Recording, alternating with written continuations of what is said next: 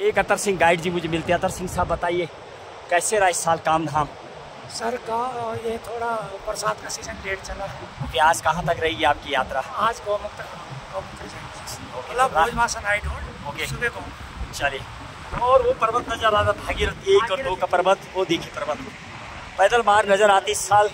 रास्ता ठीक है? अच्छा ठीक कमाई धमाई ठीक हो रही है? ठीक ही है सर ठीक है। बढ़िया है चलिए कितने साल से आप ट्रैकिंग का काम करते हैं? मैं 96 से राइट से गाइडर हैं और ये भरड़ भी नज़र आ रही है देखिए यहाँ पर। ब्लू सी भरल है। हाँ, ब्लू सी भरड़ है। यहाँ कितनी प्रजाति की ये भरड़ होते हैं साहब? प्रजाति तो फ़िलहाल एक एक ही है। और जो कस्तूरी मृग होता है वो और वो इस तरफ़ अतर सिंह जी खास तौर पर इन धामों के बारे में। और लगातार गाइड का काम करते हैं तो चारों धाम से लेके कई जगह गाइड का अनुभव होता है। आज आपके साथ कितने लोग हैं जो तपोवन छः जाने? छः छः लोग। छह लोग। कहाँ से आए आप? वेस्ट बंगाल से आए। चले। कैसे? फ़र्स्ट टाइम आ रहे क्या? ओके कैसे लग रहा है यहाँ पहुँच के? बिल्कुल शांत जैसे सुना था किताबों में चीज़ नज़र आ रही है कुछ अलग है? बिल्कुल। वो देखिए माँ गंगा का हालाँकि ज़्यादा विशाल रूप तो नज़र नहीं आ रहा है मुझे क्योंकि आजकल लगातार हालाँकि बारिश होती है।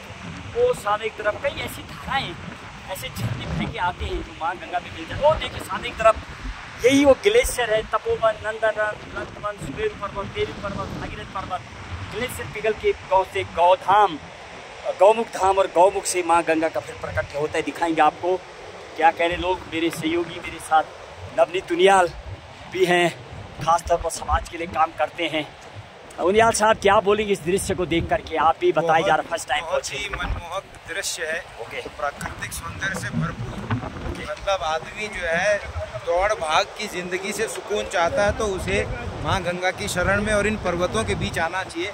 आनंद ही आनंद है बस। तो उनियाल साहब आने वाले टाइम में जिस तरह के साहब राजनीतिक बोलो या समाज के लिए काम करते हैं आए दौर आएगा कभी जब यहाँ पर और विकास देखने को मिलेगा कुछ परिवर्तन नज़र आएगा। वो हाँ, चीज़ बिल्कुल, क्या चीज़ यहाँ पर आपको नज़र आ रहा जो ठीक होना चुस्त होना बाकी है? देखिए अभी हम जो ये लंबा चौड़ा रास्ता है कई जगह ये ध्वस्त है तो फिर क्या है कि देखो वैसे तो बर, ये पहाड़ों में क्या है ना कि ये सब आपदाएँ आती रहती है तो इस वजह से कई जगह नुकसान है। अगर वो रास्ते ठीक ठाक से दुरुस्त किए जाएँ तो और जो है पर्यटन ये बढ़ेगा यहाँ पर। सबसे बड़ी कमी नज़र ये भी आ रही जो फॉरेस्ट विभाग है या एसडीआरएफ है पुलिस है बोर्ड बहुत कम नज़र आ रही लखे हुए। बोर्ड हाँ जगह का नाम लिखा हो हाँ। यात्रा कितनी दूरी तय हो गई है कितना बाकी है शायद ज़रूरत है ऐसा लग रहा है। बिल्कुल बिल्कुल ज़रूरत है और बीच बीच में कूड़ेदान. की जो है ना पर्यावरण ज़रूरत। को सुरक्षित रखने के लिए कई प्रकार के हालाँकि जब मैं फॉरेस्ट वालों से बात कर रहा था उनका कहना है इस साल बह गए देखिए लिखा हुआ मार्ग की चौड़ाई और कम है चले सावधान इस टाइप के और बोर्ड लगाए जाने चाहिए।